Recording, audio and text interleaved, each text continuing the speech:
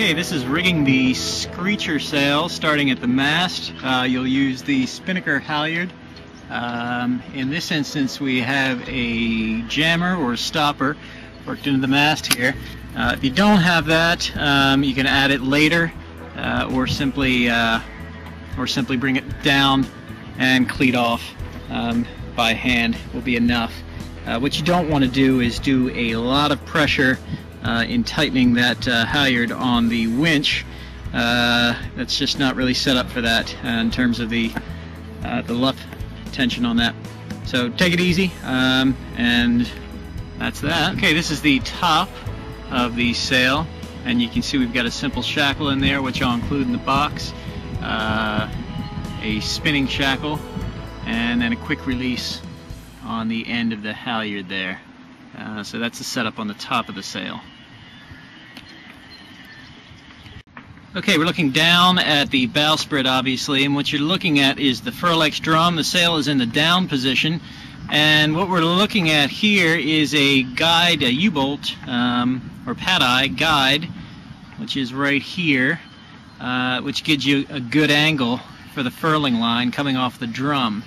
Uh, you'll want to load the drum with about uh, 12 to 14 clockwise turns, uh, loaded up with 12 to 14 clockwise turns of the furling line before attaching the sail itself. And I'll make sure to include uh, a couple of extra shackles uh, in the box for you. Uh, probably the toughest part is making sure you don't lose those preloaded wraps on the drum before attaching the sail. So I think you'll get the hang of it. I kind of rest it there on the end of the on the end of the sprit there and uh, I'm able to attach the sail.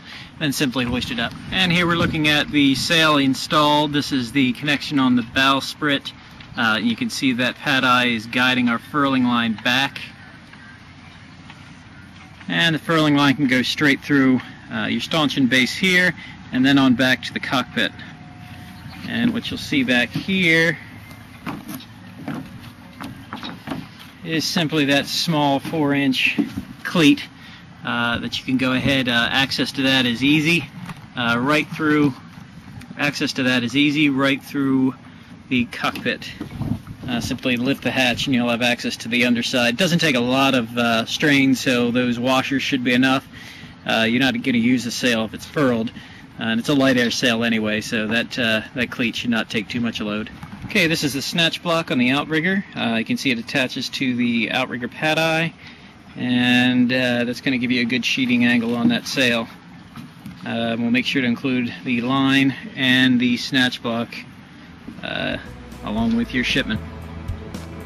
Okay, this is another view of the Screecher sail installed.